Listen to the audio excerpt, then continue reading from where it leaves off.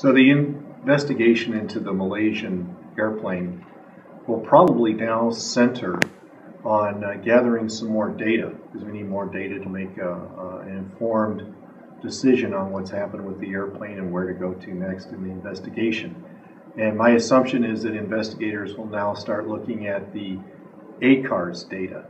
Uh, ACARS data is part of a quality assurance program that most airlines and aircraft manufacturers and engine manufacturers use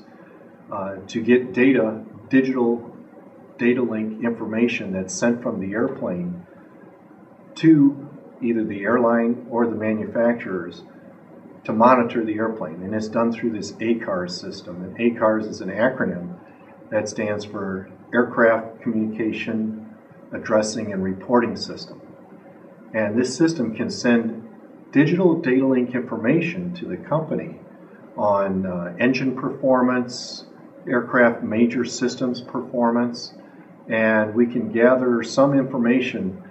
to help us find uh, more clues into uh, the Malaysian incident. I'm hoping that we find more information from the ACAR system uh, there's some early information that Rolls Royce, who is the aircraft engine manufacturer for the Malaysian airplane,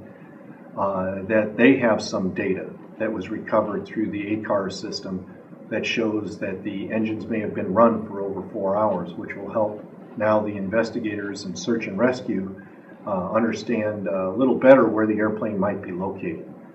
Uh, so uh, I'm looking forward to uh, getting more of this digital data link communication from the ACAR system and, uh, and finding out more. Uh, it was a great help in the Air France investigation.